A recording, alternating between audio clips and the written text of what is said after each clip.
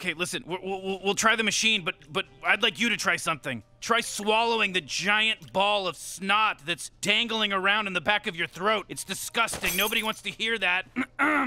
That's what you do. Okay, Rick, come on, enough. Rick, I don't like glowing rocks in the kitchen trash. Well, I don't like your unemployed genes and my grandchildren, Jerry, but life is made of little concessions.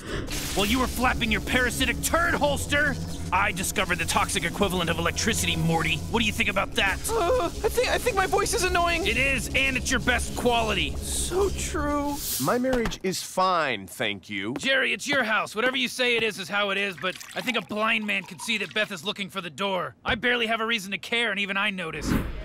Hey, you guys ever use that Thunderdome, or do you just put it up for decoration? Uh, you mean the blood dome? Save it for the Semantics Dome, E.B. White. Ooh, burn.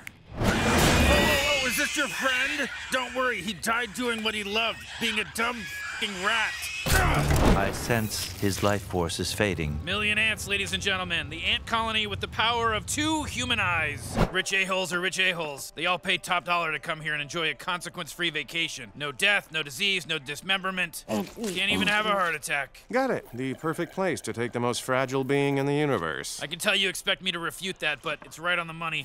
Yeah, yeah, yeah, you win, Jerry. You win! No amount of genius can stop your dumb, mediocre, vacuous roots from digging into everything and everyone around you and draining them of any ability to fend you off. We don't have to do anything, Morty. This is just a structural guide. We're obviously gonna impart our own style. I don't like how meta this is getting, Rick. Shut up, Morty. You're 14. You watch videos of people on YouTube reacting to f***ing YouTube. I'll be the judge of when we get too meta. And that's when Malachi the Squid King rips off his face, and beneath it is my face.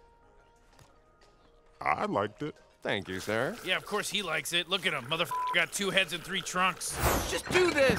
I have English homework. You're still learning English? It's the language you speak. How dumb are you? So, in conclusion, you're both equally mercurial, overly sensitive, clingy, hysterical bird brain homunculi. And I honestly can't even tell the two of you apart half the time because I don't go by height or age, I go by amount of pain in my ass, which makes you both identical.